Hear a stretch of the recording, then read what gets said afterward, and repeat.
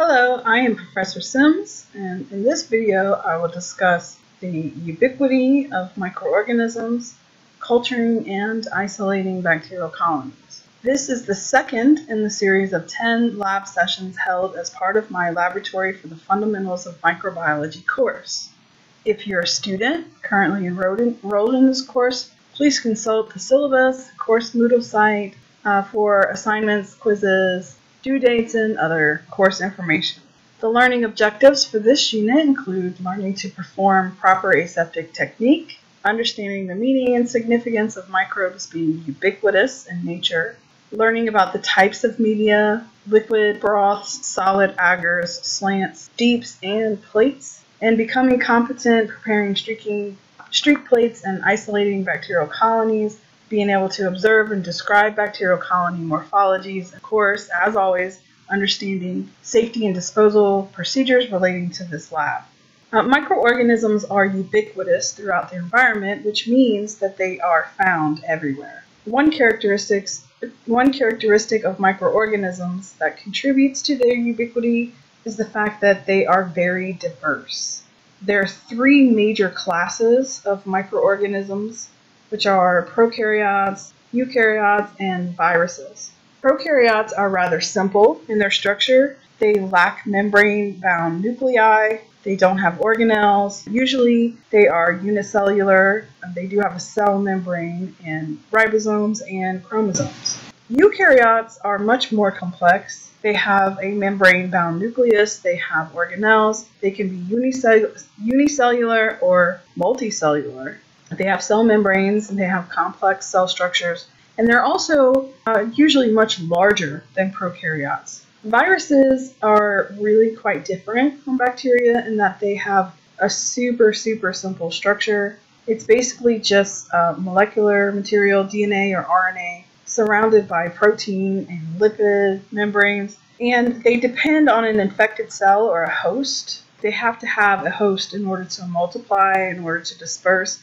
Viruses are kind of a point of contention. Many scientists don't agree whether they're even living creatures or not. Another characteristic of microorganisms that contributes to their ubiquity is the fact that they are very old. They've had up to 4 billion years to evolve and adapt and to live in any and all environments on Earth. In fact, the fossil record shows that there have had some form of bacteria on Earth for 3.5 billion years. So for experiment one, what we're going to do is we're trying to illustrate the ubiquity of microbes in our environment. And our environment is defined as the laboratory itself or the building surrounding the lab. Uh, you can choose to sample things outside of the classroom itself, but you should not leave the building. So you choose two inanimate objects to test for bacterial contamination, things like a lab bench or a sink or bottom of your shoe or the toilet or door handle.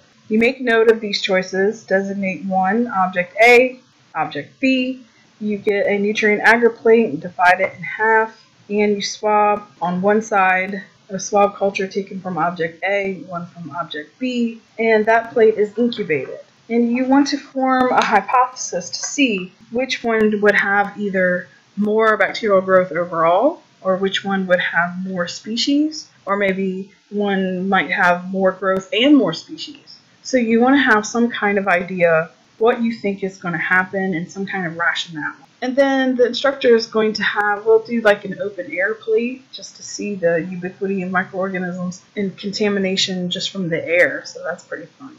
Throughout this course, we will be culturing, that is, growing bacteria. And it may seem kind of counterintuitive to want to grow bacteria because you're used to killing it. But you can't study the bacteria without growing it first. So in order to grow it, you need to know what kind of pH it means, what temperature it grows out, grows at, and its oxygen requirements. So here's some guidelines for that. Most bacteria are neutrophiles, meaning that they grow at a neutral pH of about 7.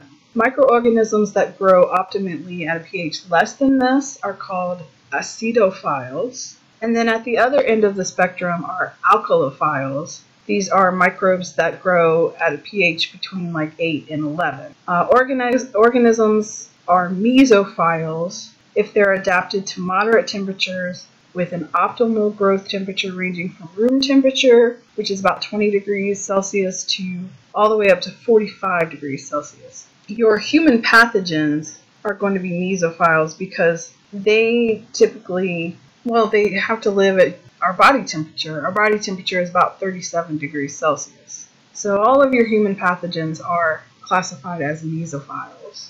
Organisms called psychrotrophs these like cooler environments from about 25 degrees Celsius down to 4 degrees Celsius. Psychrophiles are essentially psychrotrophs that can grow all the way down to 0 degrees Celsius, so this is at freezing. They're found in permanently cold environments such as deep ocean water. Thermophiles on the other end of the spectrum, thermophiles are widely distributed in hot springs, geothermal soils, man-made environments such as compost piles where microbes break down kitchen scraps, um, hyperthermophiles.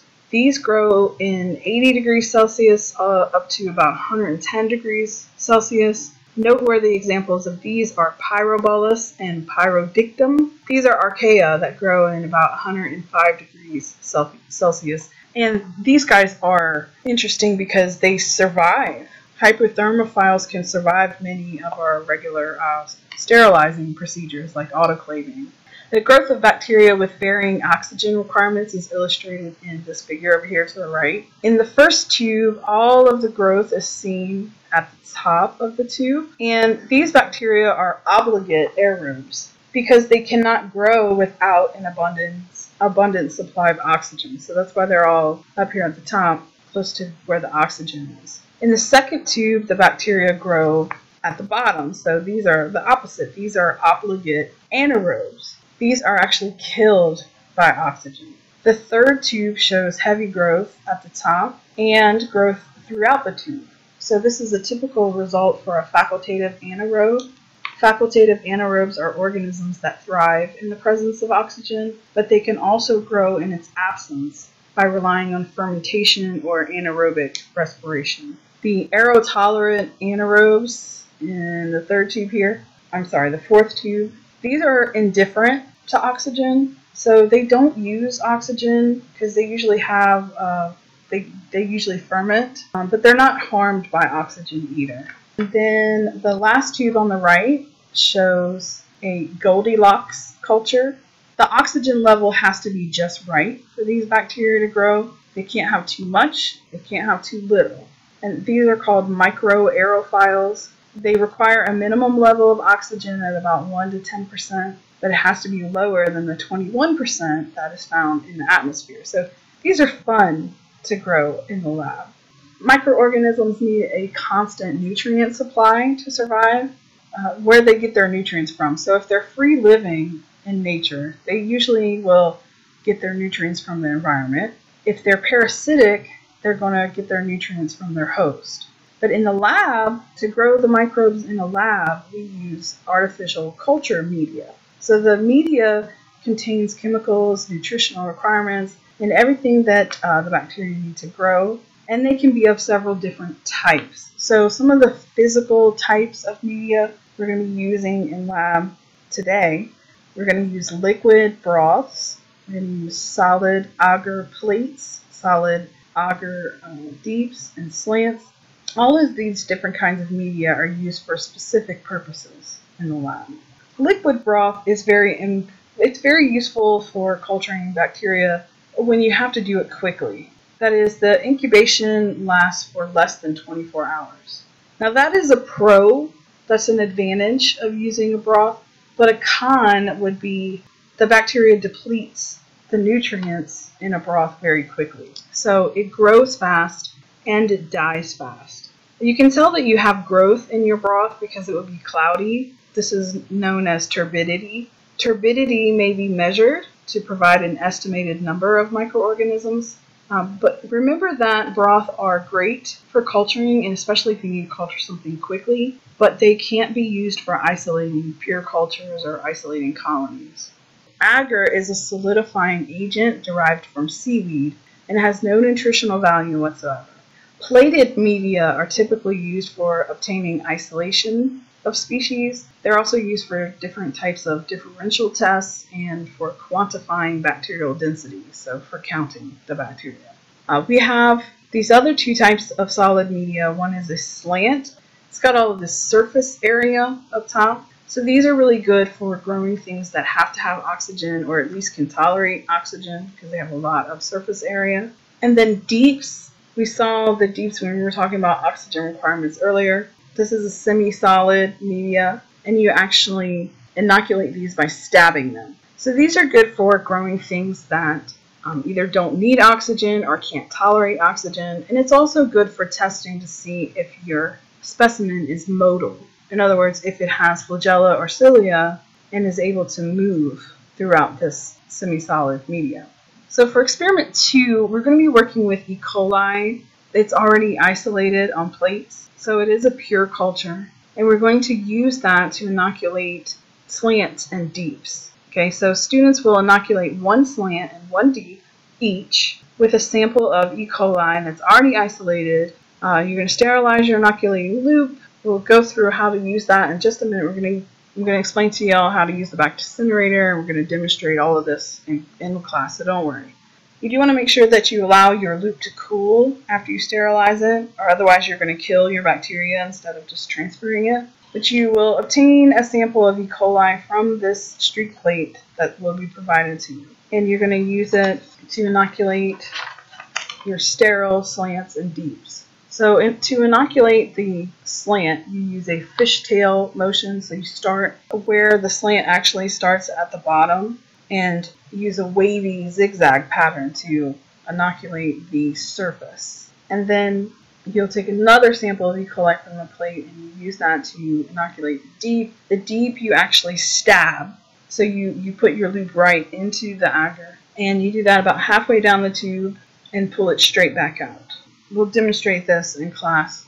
It's very important for students to learn early in this course how to use proper aseptic technique. So you already know about wearing your PPE, your lab coat, safety glasses, gloves, but in addition to that, and to avoid contamination of your sample and the lab bench and yourself and other people, you want to make sure that you keep your agar plate covered as much as possible. Always sterilize your inoculation loop before and after you use it Make sure you're keeping your specimen at an arm's length so it's not too close to your face or your body.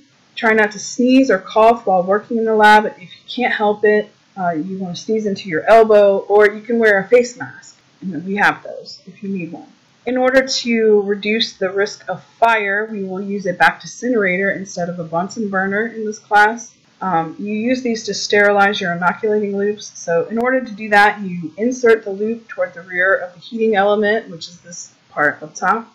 Um, you want to avoid scraping the sides. Your loop must remain within this heating element for five seconds, at least five seconds. Then you want to allow your loop to cool, or well, I'll show you how. We'll show you how to cool the loop on sterile media. Um, but if your loop is too hot, then you're going to kill the bacteria that you're trying to culture. So the bacteria can't grow if it's dead. Um, when transferring bacteria, hold the loop like a pencil. Uh, it helps your hand. It helps to put your hand in a convenient position to hold tube caps and, and other things with a pinky finger. And we'll show you how to do that too. Now this is an important skill to learn since you can't put two caps on the lab bench or else they'll become contaminated. When you isolate a bacteria, you're going from a mixed culture to a pure culture. And then what you hopefully end up with are isolated colonies. A colony is actually derived from a single cell that has grown and reproduced such that all of the cells in that colony are genetically identical. Colony morphology is what the colony is going to look like on a plate. This is a nice figure that gives a lot of examples for the terminology to use to describe the elevation, margin, shape, size, color, all of that stuff for your colonies once they're isolated. I will go over some of this uh, in class with you guys, and it does take some practice, some practice to observe and describe colony morphologies. So you, you'll learn learn about that in your lab two, when, especially when we're collecting the results from lab two. For experiment three, you're going to try to get these isolated colonies from a mixed colony. So you're streaking for isolation, which consists of using a sterile loop to inoculate an agar plate using a primary streak followed by a second and third and fourth streak. And in between each one of these, you're going to sterilize the loop. So during streaking, your cell density decreases, eventually leading to individual cells being deposited separately on the agar surface. So cells that have been sufficiently isolated will grow into these colonies, which consist of an, one original cell type that has uh, divided and grown and reproduced asexually. After incubation, single isolated colonies should be found on the plate, usually in the third or fourth quadrant if the cells were sufficiently diluted. So this is the method here, and again, this will be demonstrated in class, but just quickly, what you do is first, you label the plate's base with four separate quadrants. You sterilize the loop and cool it by touching it on the sterile agar plate. You obtain your inoculum from the mixed broth, and you only need one loop full of this. Um, using a sterile loop, make sure your loop is sterile and cooled. You streak the mixed culture back and forth in the first quadrant, and then you want to be really careful not to cut the agar. It's very important now between all four quadrants that you sterilize and cool the loop. It's also extremely important that you know that you're not going back into the broth. This here is the only specimen that you use. You get a loop full of bacteria, you streak it in the first quadrant, then you sterilize the loop, cool it, pull a little bit out from the first quadrant and streak that out into the second. Sterilize the loop again, cool it, pull a little bit out from the second quadrant and streak it out into the third. Sterilize the loop again and cool it and pull a little bit out of the third quadrant and streak it into the fourth. So your specimen should be getting more and more diluted um, as you go from each quadrant. And then after incubation, your isolated colony should appear in the third or fourth quadrant. Go through your safety guidelines. This is the first time we're going to be using the bacticinerator, so make sure that you, you unplug and turn off the bacticinerator before you leave lab. Um, for your observ observations and interpretations, these are the things you're going to be looking for after your plates have incubated and you come back for the next lab section. Lab session. So for experiment one, you're going to be comparing your density of growth and the number of species from A to B and determining if your hypothesis was supported or rejected. For experiment two, you want to see if E. coli grew well on the slant and or the deep. And you are going to have to look up some information about E. coli. You want to determine before you come to lab, Google it or, or look it up in the book, what are the oxygen requirements for E. coli? And is E. coli a motile species? In other words, does it have flagella or cilia? And then for experiment three, you're going to see if you have isolation for one or both of the species that was in the mixed broth. If you had any strange streaking patterns or cuts in the agar, if you had growth that was outside of the streaking pattern, so if you have growth that you didn't put there with the loop, think about what that could mean. Um, and I just put up here some colony morphology slides for E. coli. So when you're looking for E. coli, this is how you should look. And we've already seen in Micrococcus luteus's colony morphology, so that should look pretty familiar to y'all. This is what we're looking for on the uh, experiment 3 plate to see if we isolated E. coli, if we isolated M. luteus. Thank you guys for watching. Don't forget to do the reading. Check the description for more videos related to these topics and leave your questions for me in the comments below.